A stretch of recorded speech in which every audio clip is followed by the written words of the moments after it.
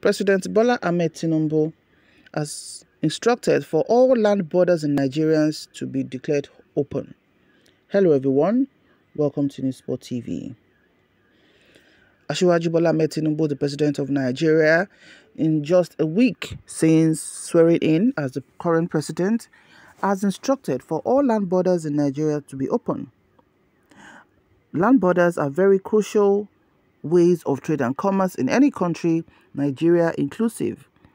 For some time or during the president, ex-president Muhammadu Buhari's reign, there's been closure of border, giving reasons that he wants to ensure the growth of local industries in Nigeria, and that by closing borders, it will increase internal capacity. Before President Buhari took over, one of the most staple food in Nigeria is rice. A bag of rice was going for about 8 to 10,000 naira. But at the exit of ex-president Muhammadu Buhari, the current market price of a bag of rice is 50,000 naira. Now, what, that's one of the, well, not too good sides of President Buhari that people still talk about because the prices of everything just skyrocketed with, you know, little or nothing to really do about it to reduce the suffering of the people.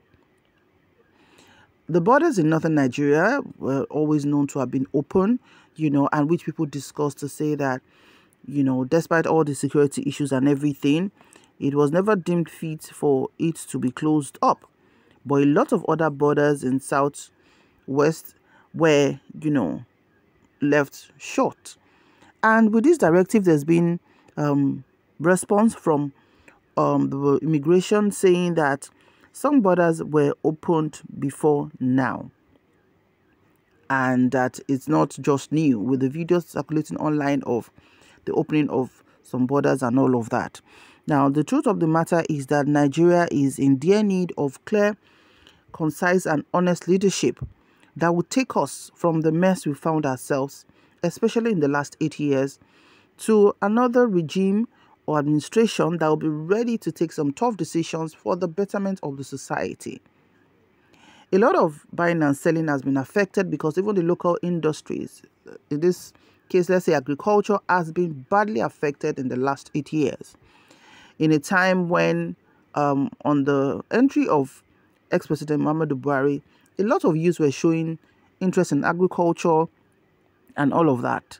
Um, but recently, in the last few years because especially of um, kidnapping and banditry and all of that you know people had to run away from their farms to save their dear lives which of course has led to huge losses and um, um, inflation in the prices of food items. And everybody can tell that a country as Nigeria that is so blessed with fertile land good seasons and weather and all of that but of course, to save one's life, to avoid being kidnapped and asked for ransom, people would act to, you know, find something else doing. And once agriculture is not properly taken care of, of course, every other thing will be affected. Now, with this declaration, the customer said that it is not a new thing um, that, you know, the borders are open and all of that. So, this speculation, you know, some days ago that Asiwaju will open um, the border and has lifted the ban on the borders between Nigeria and the neighboring countries. It received reactions from many Nigerians online as some citizens prayed that God will touch the mind of President Tinubu to make sure this is carried to the last letter. Many citizens, both learned and illiterate, believe that the decision by former President Muhammadu Buhari to close the Nigerian borders was a major setback for the administration as it was closely related to the hike in prices of food in the country. Nigeria, with a hopping population of 200 million, highly depends on farm produces and most staple foods from neighboring countries. However, the insurgencies, leakages in internally generated revenue, and the drive to promote locally made products were among the reasons that convinced former President Muhammadu Buhari to close the border. Although people are still saying that, you know, until they're all officially open because of the kind of distrust that Nigerians have about anything that has to do with governments, you know, saying something and doing something else. But they believe that once the ban on Nigerian borders are lifted, um, that will be the roundtable that will take a front role in expected development. You know, so um, everybody's waiting to see the execution of this. And of course, maybe several weeks or months down the line, the effect will be felt by the common man on the streets. It has not been the best of times currently, uh, with people questioning President Bola Ahmed Tinubu's renewed hope slogan, and uh, but still taking a closer look to say the man is just coming in, he's trying to feel the temperature, and is trying to see how he can manage the inherited um, problems from the previous administration.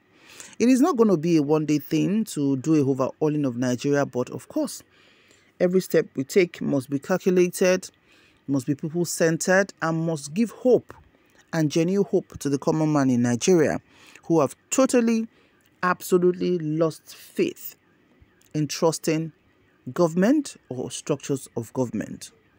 What's your opinion on this? Kindly drop your comments in the comment section below. Do you think that if President Bola Ahmed Tinubu succeeds in finally opening all the borders and you know making commercial activities come back to life, would it change the status quo of Nigeria and what effect would it have to boost our economy? Kindly drop your comments. See you in the next video. God bless Nigeria. Bye for now.